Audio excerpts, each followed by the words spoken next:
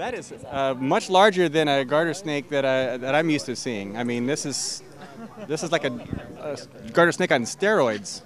Actually, it's, it's not. It's a female garter snake. So she's definitely on the bigger side, but not totally untypical for garter snake females. So the males weigh about 50 to 60 grams as adults, which is about a quarter of the size. Females 200 to 250 is pretty average for wild snakes, and that's you know obviously significantly larger than the males, but that's typical for garter snakes. The females are always bigger.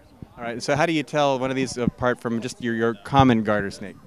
Um, well, these guys have a very limited range. So San Francisco garter snakes are only found in San Mateo County, only along the coast area and in wetlands. So they have a very small distribution. Um, their colors are pretty special. There's the red-sided garter snake, which has some similar coloration, but they have actually a checkered stripe mm-hmm. here instead of a solid stripe where the black and the red is. So those are the distinguishing characteristics for, for them. Plus, the red-sided is don't typically live in this area.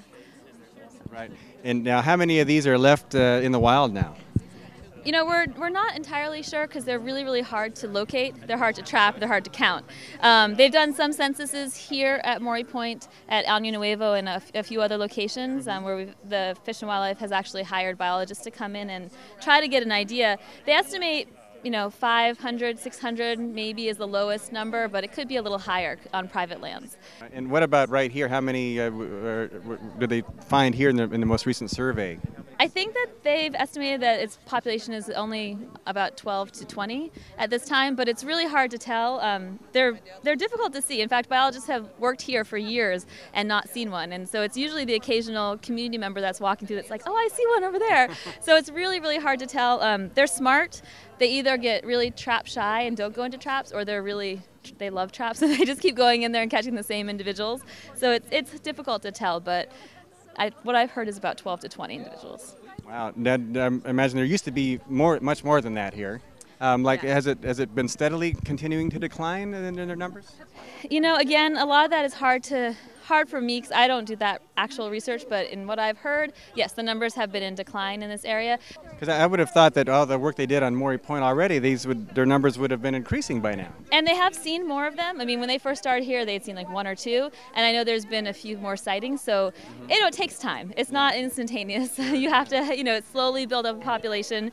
Um, I think it's exciting that they're still seeing them, so that's a good sign for sure. Um, and then I know they found some youngsters, so that means that there are there is some breeding going on. It's just it's going to take some time. And one last question: May I touch her? You can. You can touch her on the back. Okay. This is a lifelong dream of mine, actually. there was love all around, but I never heard it singing. No, I never heard it at all till there was you.